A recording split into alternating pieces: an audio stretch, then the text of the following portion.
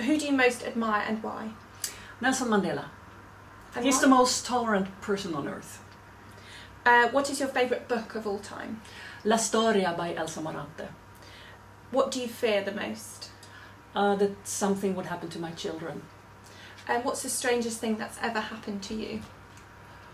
Ooh, um, well, um, being number one on the New York Times bestseller list was pretty strange.